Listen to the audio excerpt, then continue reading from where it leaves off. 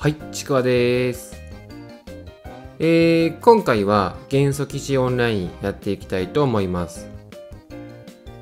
で、えーついにですね、えー2022年、えー11月30日に正式リリースということで、えー元素騎士オンラインがね、えー正式リリースされました。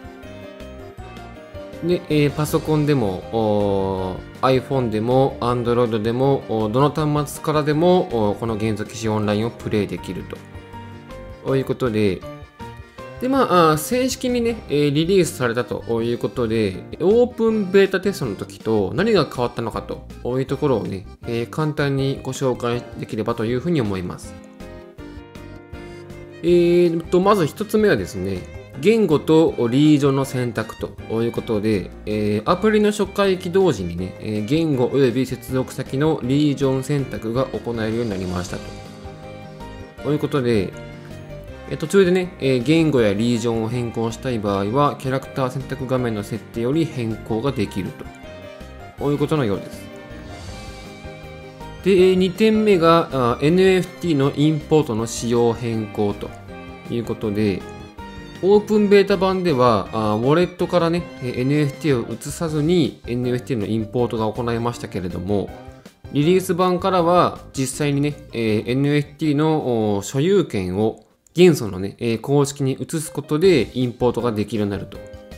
で、注意点としては、あインポートした NFT をね、持ったキャラクターを削除してしまったり、その NFT をね、インポートした状態で、えーアカウントを削除してしまうと、その NFT をね、復元することができなくなってしまうと、こういうことですので、こちらは十分に注意をお願いします。なので、もしキャラクターを削除する場合などは、まあ、倉庫に預けるか、アカウントのね、えー削除時には必ず、事前にね、えー NFT をすべてエクスポートした上で、え削除を行うということが必要になります。で、3つ目が、ロンドのエクスポートということで、えーゲーム内にいる銀行のね、NPC、こちらにね、無償 M ロンドを預けることで、えーロンドとしてね、エクスポートが可能となりました。で、エクスポートするためには5%の手数料が発生して、えーそのね、えー5%分のミニロンドが差し引かれたあ残りがね、えーロンドとして換金されるようです。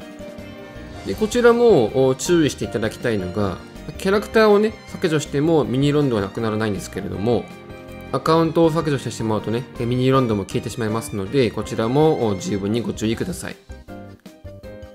で、4点目が一部アイテムのエクスポートということで、すでに発行されている NFT のインポートとかエクスポートは可能なんですけれども、ゲーム内で入手したレアなね、装備品などのアイテムについては、あまだね、え現段階でエクスポートする機能というものは実装されていません。でこちらの機能はね、えー2022年12月中のアップデートで、えゲーム内のアイテムもエクスポートできるようにしたいと検討しているようですので、お待ちいただくとこういう形になるかと思います。で、えー5点目が死亡時の死に戻りのルールの変更とクエストのワープということで、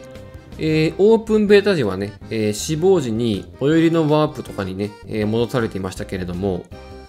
リリース版では死亡時にエルロンド商店街に戻されるというルールに変更されます。まあ、ただこれはね、え一部エリアは除くようですね。で、えその代わりにエルロンド商店街からは旅立ちの草原とかエルロンド城下町、コルキア村への直接ワープができる転送石というものが実装されます。で他にもね、えーゲーム中どこからでもエルロンド商店街に戻ることができるエルロンドの翼というアイテムもね実装されるようですで、6点目が装備のパラメータに関する変更ということで、えーオープンベータ版では装備効果という形でね、え装備に腕力や知力などのパラメーターが追加されていましたけれども、リリース版では装備自体の特性として、えこれらのパラメーターが直接持たれる形に変更されましたと。えそれと装備には魔法攻撃と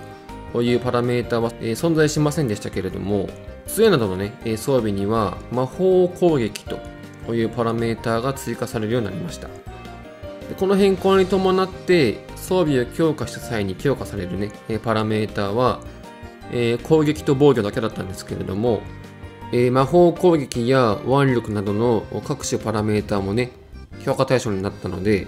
評価の跳ね返りが大きなものと、ね、なっているようです。7点目がセットアップ装備の実装ということで、えー、アマのコラボ NFT とかね、えー、などの全身一式を着せ替えるような装備をつける専用枠として、セットアップという部位が追加されたようです。で、セットアップ部位にね、装備をつけると、他の部位の装備が全て外れるようですね。まあ、あとはですね、ちょこちょことしたね、修正が入っておりまして、えまあ、ボンスタンのね、ドロップアイテムとか、強さのね、バランスの調整ですとか、あとは、おしゃれ装備強化のバランスの調整ですとか、おしゃれ装備のね、修理費のバランス調整。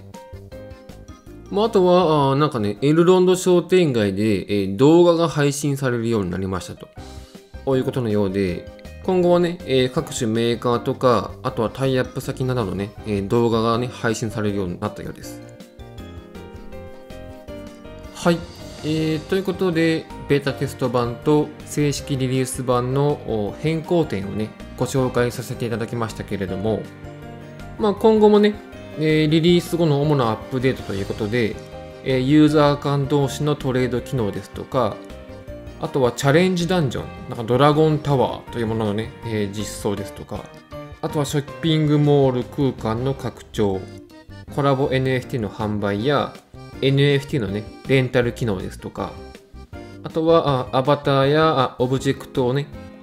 ユーザー自身で自由にデザインしてゲーム内で遊べる機能ですとか、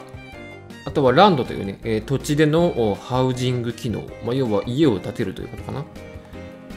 あとはフレンドとかギルドなどのソーシャル機能とかね、いろいろな機能がアップデート予定ですので、またさらにね、いろいろな機能が実装されて、さらに面白いゲームとなっていく予定ですので、これからもね、注目していきたいと思います。はい、えー、それでは今回の動画は以上になります。ご視聴ありがとうございました。